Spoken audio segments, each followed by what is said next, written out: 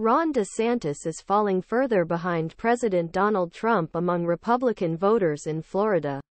According to the Florida Atlantic University Mainstreet Research PolCom Laboratory poll released on Thursday, Trump is ahead of DeSantis by 41 percentage points. That's twice Trump's advantage from July, when the former president had a 20-point lead over the Florida governor.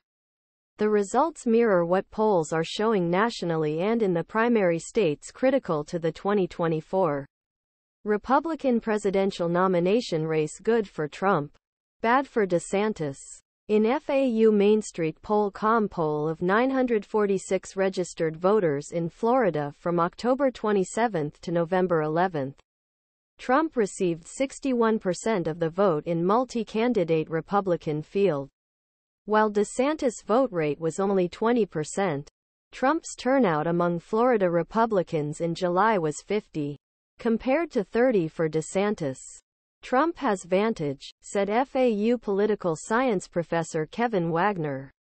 DeSantis still needs to find a way to reach these voters in a way that doesn't alienate them. And I don't think he's accomplished that. One challenge for DeSantis is people's tendency to align with the candidate they see as most likely to win.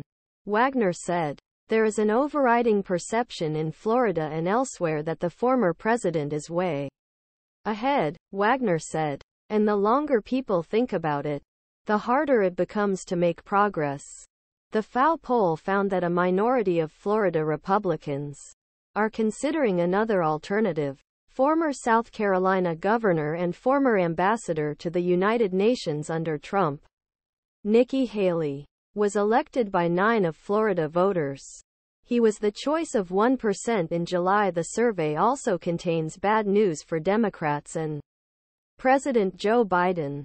He would lose Florida, a finding consistent with other polls. A particularly worrisome sign for Democrats while an overwhelming majority of voters in Florida, a heavily retired state, believe Biden is too old for the presidency. A majority of Florida voters do not see Trump that way. There is a perception that Trump is a more active, energetic figure than Joe Biden, Wagner said. It's pretty clear at this point there's a perception even within the parties that age is an issue and he may not be able to run for another term. And that's a narrative that needs to address head on. Voter approval of DeSantis' performance is also declining in the state he governs. The poll found that 50% of voters approved of his performance, while 49% disapproved. In July, 54 of Florida voters approved of his performance, while 43 disapproved. In the last four months, the net positive has increased from 11% to a net positive of 1 point.